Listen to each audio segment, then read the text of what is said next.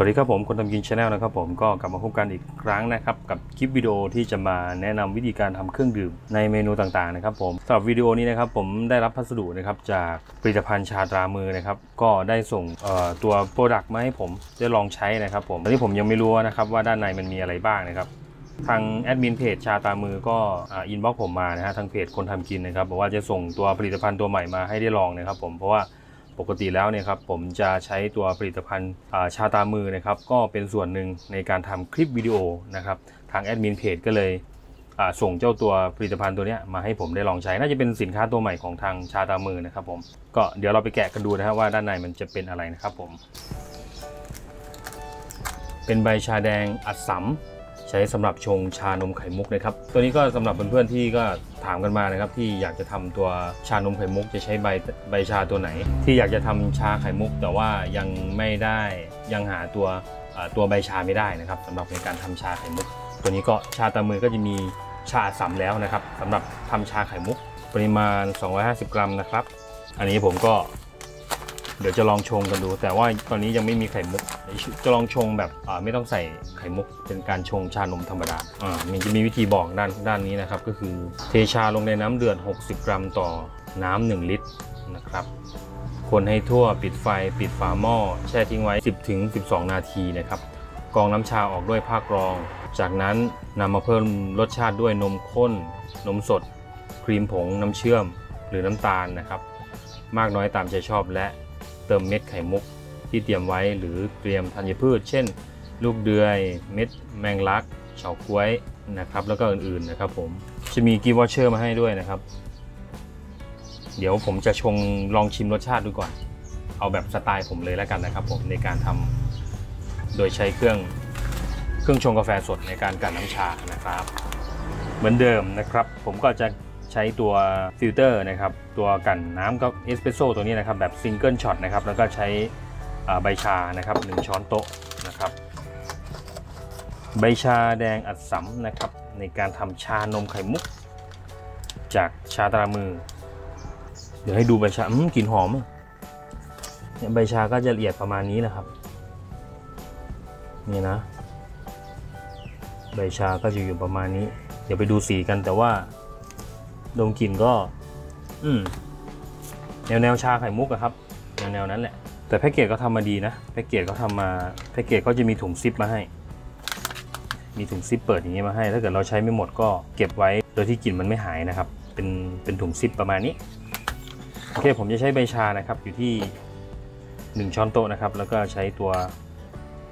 ฟิลเตอร์แบบ single shot นะครับ จะกลั่นน้ำชาจากเครื่องชงเอสเปรสโซ่หรือว่าเครื่องชงกาแฟเรานะครับ ตามสไตล์ผมแล้วกันเนาะยังผมไม่ได้เอาไปต้มเหมือนกับที่เขาแนะนำมา ลองดูก่อนลองดูก่อน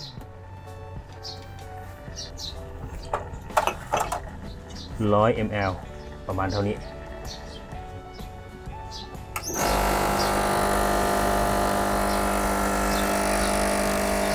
ปิดไว้แป๊บนึง มันให้ใบชามันมันบานดีกว่าอ่า ปิดแช่ไว้แป๊บนึง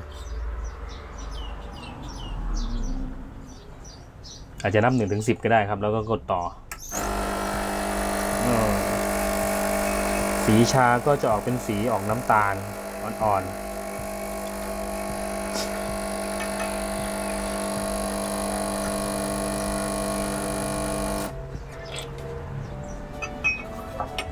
โอเค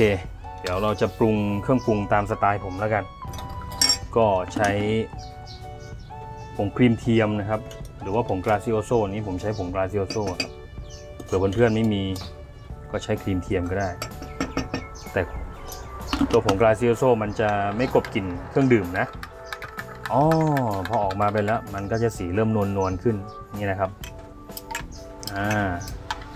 สีซอฟต์ลงมาก็สไตล์ชานม นี่นะ แล้วก็ผมจะใส่น้ำตาลไปหนึ่งช้อนโต๊ะแล้วกันครับปึ๊บ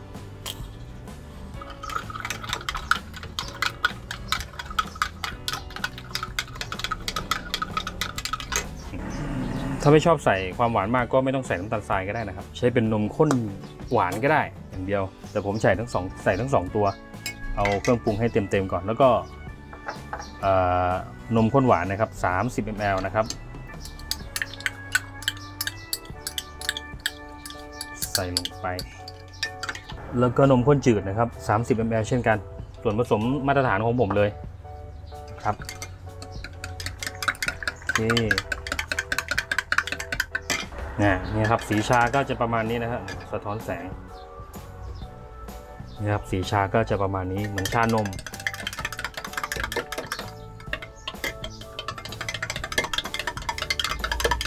เป็นใบชาแดงอัดสำที่ใช้สำหรับในการทำชานมไข่มุกนะครับ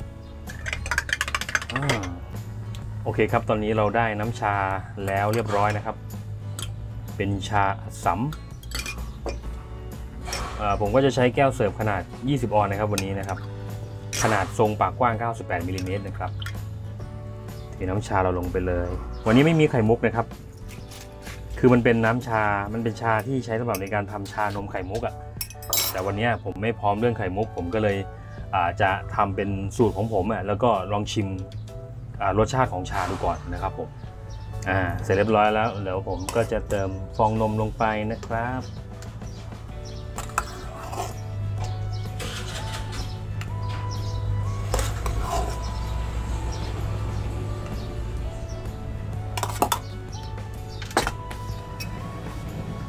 โอเค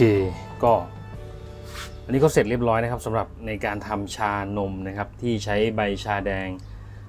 เป็นใบชาแดงอัดสำนะครับ จากทางชาตามือนะครับ วันนี้ผมลองทำตามสูตรของผมเองนะครับ ผมไม่ได้ทำตามคำแนะนำที่เขาเขียนไว้ข้างซองนะ อันนี้ก็คือ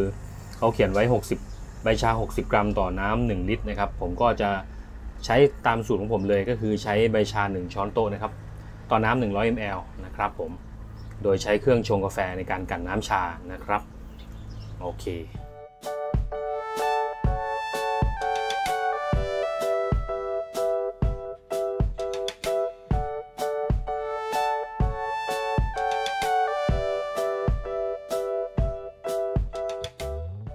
เดี๋ยวเราจะไปชิมกันนะฮะรสชาติของใบชาแดงอัดสามของชาตามมือนะครับ ที่ใช้สำหรับในการทำชานมไข่มุกเนี่ยจะมีรสชาติเป็นยังไงนะครับ อันนี้เป็นครั้งแรกนะครับที่ผม ได้อลองชงแล้วก็จะชิมรสชาติกัน